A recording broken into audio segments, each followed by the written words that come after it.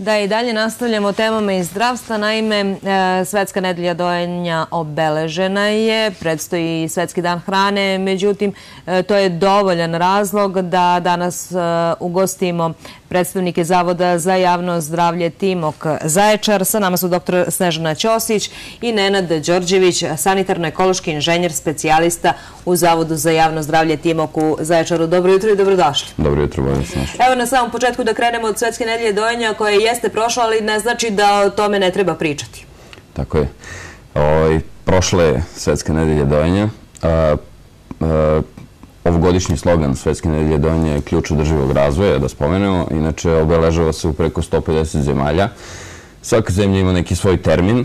Praktično Svetska nedelja dojenja je od 1. do 7. augusta, međutim kod nas se obeležava od 30. septembra do 7. oktobra. To je 40. nedelja kalendarska a poznato je da trudnoća traje 40 nedelja, pa eto zato, tako je.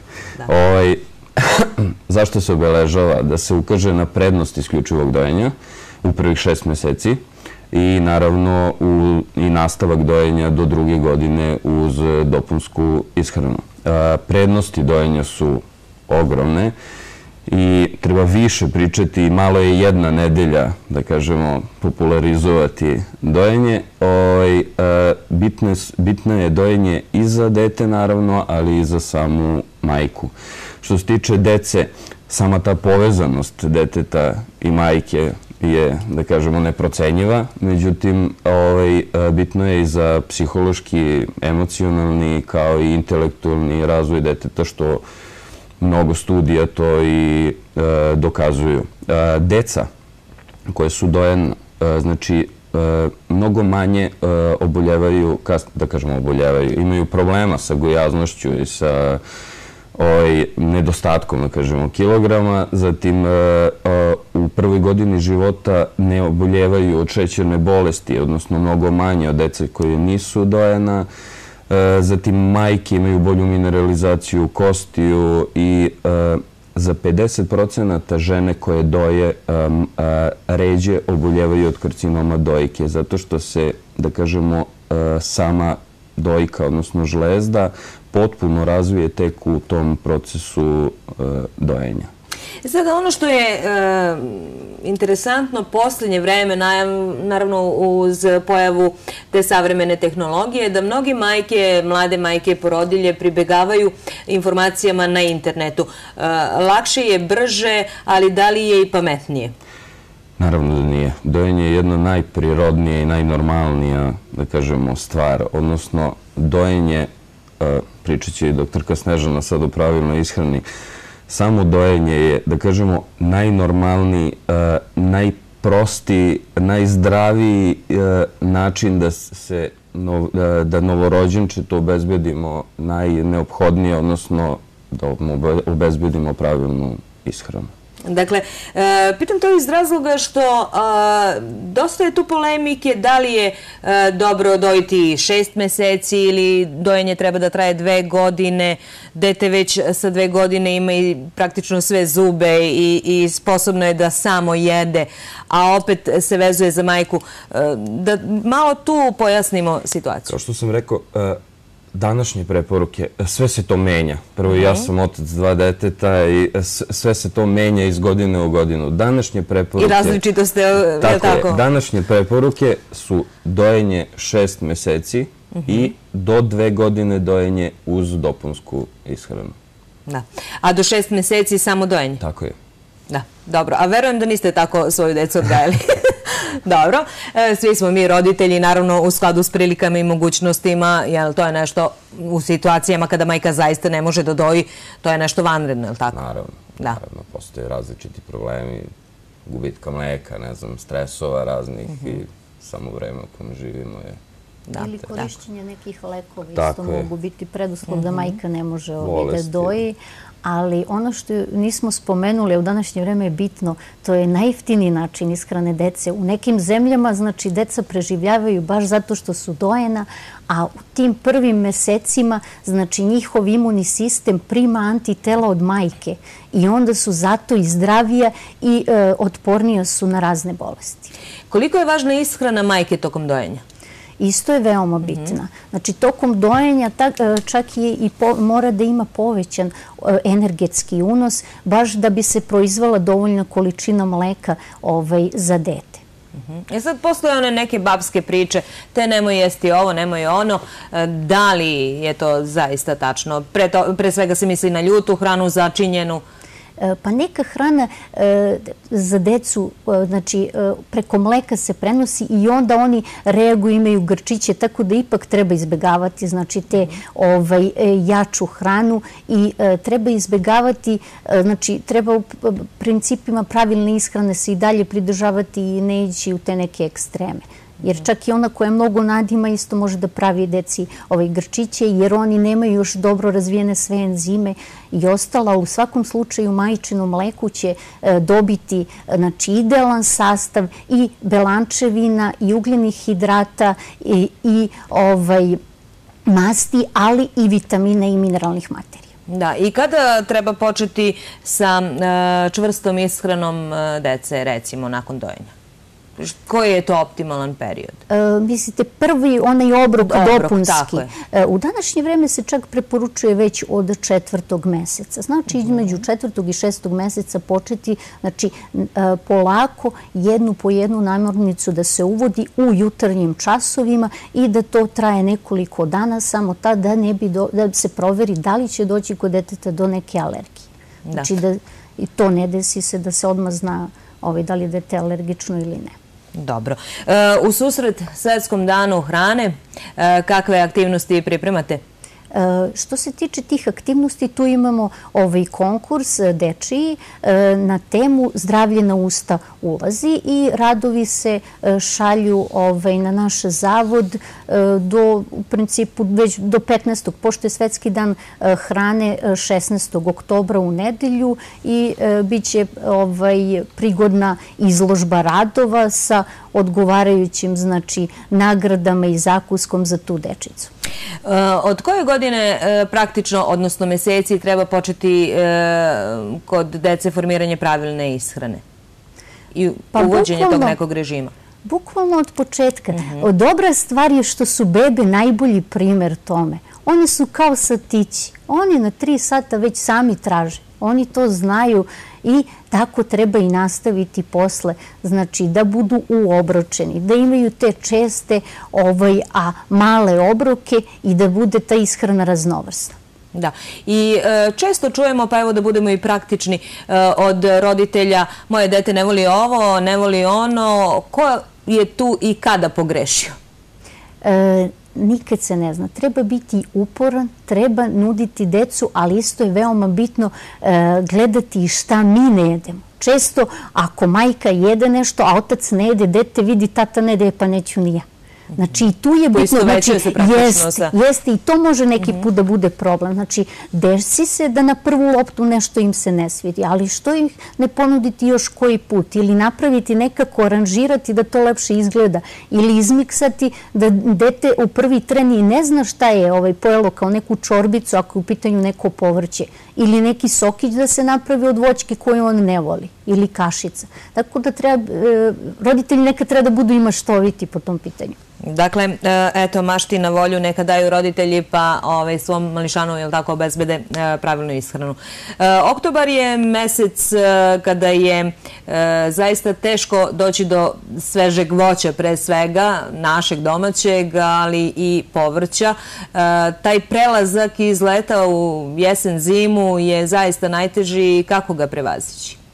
Pa dobro, već je uveliko, znači se završava sezona pravljenja zimnica, tako da već je krenulo da se ujutro maže ajvar i slično, tako da mi smo, ja mislim, naše domaćice su već spremne za zimu, džem je napravljen od šljiva ili ovaj, nekog drugog voća, tako da polako, znači krećemo e, da uvodimo ovaj, napravljene i turšija, a počinje i da se uvodi ovo smrznuto povrće kad, kako nestaje ovaj, odgovarajuće sveže povrće.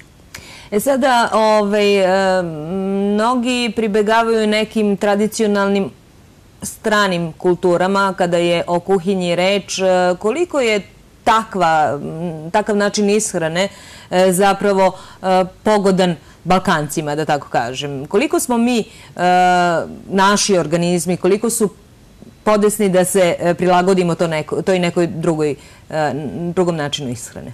u suštini lepo je svašta probati i videti, ali najbolje jesti znači namirnice sa podnevlja na kom živimo. Baš zato što znači i zbog varenja i svega na ono što su naši organizmi navikli kroz decenije, tako da ovaj, najbolje je ovaj, jesti sa našeg podnevlja. A naravno svi smo mi radoznali pa ćemo da probamo razno raznu i kinesku kuhinju i slično. Da. E sada vreme je i čestih prehlada, virusnih infekcija, pa i gripa. U Boru ga za sada nema, verujem, ni u Zaječaru. Ovaj, e, kako se zaštititi? Pa povećati znači unos e, voća i povrća, znači sad kreće opet citrusno voće, limunada, ceđena pomoranđa, e, grejpfrut, znači povećati unos različitih salata i mic po mic, znači primat od tog svežeg povrća u jednom momentu će doći luk i beli luk, znači kao moguća salata u svežem obliku ili kupus salata. Znači e, unosom e, znači, tih e, ovaj, vitamina i minerala malo da se zaštitimo i da ojačamo ovaj, organizam. Osim unosa tih vitamina i minerala, koliko je značajno da i obroci budu redovni? Veoma bitno. Znači, redovnost, raznovrsnost i umerenost. Znači da ne preterujemo u količini tih obroka, jer posle onda se i mi lošije osjećamo i treba više vreme da se stvari sva ta hrana koju smo uneli. Da li postoje neke, e, neka pravila u zavisnosti od e, starosti, bilo da je reč o detetu ili odrasloj osobi ili hroničnom bolesniku, osobi koja je alergična na nešto, da li tu postoje neka pravila u načinu ishrane? Pa u principu ima za sve, znači u odnosu znači, e, na starost, znači količina koja se unosi postoji, odnosno energetska vrednost koju treba tokom dana ovaj, uneti. A naravno, ako je neko alergičan na nešto, logično je da će izbegavati te namirnice. Da, i sada ono što zapravo cilj ove naše priče jeste da se samo zdravom ishranom čuva zdravlje, je li tako? Jeste. Da, i da zdravlje na ustav ulazi, pa treba u skladu sa tim se i ponašati, dakle, e, ishranu bazirati na onim zdravim namirnicama i e, redovnim obrocima. Da. Da. E sada e, počinje sve to zapravo od dojenja, pa evo da iskoristimo priliku svim onim porodiljama i majkama koje doje da uputimo jedan savet praktičan onako. Da im uputimo, da, da je dojenje, što smo rekli, najekonomičniji pre svega i najnormalniji vid e, ishrane deteta. I ja bih samo rekao jedan alarmantni podatak koji sam i ja skoro saznao, to je da manje od četvrtine majki u Srbiji doje do šest meseci. Što je za mene bio, da kažemo, jedan frapantan podatak. Zašto je to tako? Ne znam, ali mislim da nam treba više od te jedne nedelje da promovišemo dojenje. Dakle, e, dojenje je zdravo i za majku i za dete, pa ako ne misle o sebi, majke neka misle o svom detetu, je li tako? Tako je, baš tako. Da. E, ako je to sve, otprilike smo e, rekli da je konkurs do 14. oktobra otvoren za obeležavanje, je li tako, Svetskog dana hrane? Ono što nismo rekli, to je tema za konkurs. A sasvim je druga tema Svetskog dana hrane, koji se znači proslavlja ovaj 16. oktobra. E, znači, on je vezan za klimatske promene i za ovo globalno zagrevanje naše zemlje koje dovodi do promene i u klimi i u e, načinu znači, poljoprivrede i proizvodnje hrane i svega. Znači, tu se prvenstveno misli na onaj e, efekat e, staklene bašte i gasova koji se emituju. Ono o čemu isto moramo misliti, znači, e, menja se, menjaju se klimatski uslovi, sve češće su suše s jedne strane, sve češće su poplave. I oni poljoprivrednici koji se bave tim i od toga žive, često njihova letina nastrada i onda su u velikom problemu, znači treba misliti o tome jer kako vreme ide i e, od početka industrijske revolucije, na primjer i ovaj proizvodnjom i sagorevanjem znači fosilnih goriva e, došlo je do naglog porasta e, znači ugljen dioksida koji se oslobađa, a u poljoprivredi sve više se oslobađa znači metan i ovaj oksidi azota i oni svi utiču da vremenom ta naša temperatura raste u proseku je u 21. veku za jednu deceniju poraste 0,3 stepena Celzijusa. A to je veliki problem i za biljni svet, i za životinski. E, topi se led na polovima, sve se menja, a da li možemo svi da se prilagodimo? Pa i nama smeta kad umesto da bude normalnih 30, 33 e, leti, bude 43, bude nam loše. Znači, ne osjećamo se baš prijetno. Tako da je to jedan veliki globalni problem koji treba rešavati i misliti kako to da se ovaj, smanji i uspori rast temperature. Ono što uh, i čemu odoleva uh, jel, uh, svakako je genetski modifikovana hrana, ona odoleva takvim uslovima, ali e, nažalost to i nije zdrava i preporučljiva. Da, nije, nije rešenje. Pre bi trebalo napraviti plan i nekako stimulisati i pomoći manjim poljoprivrednim proizvođačima da oni uspeju i da proizvode te proizvode, a ono što je isto veliki problem, koji se možda ne zna, trećina hrane koje se proizvede se baca, a ta hrana truli i proizvodi isti taj metan truljenjem i e, ovaj ugljen dioksid i ona utiče na zagrevanje globalno, znači zemlje. Tako da treba da mislimo i o tome da ne bacamo, znači bolje da spremimo manje, manje da kupimo, ali da ne bacamo hranu. Da. Ja mislim da smo uh, jasnu poruku uputili uh, svima i da će uh, poljoprivredni proizvođači, oni, se, oni koji se bave organskom proizvodnjom, zaista ima podru, imati podršku svih da. nas. Da. Hvala vam što ste bili gosti ovoga jutra.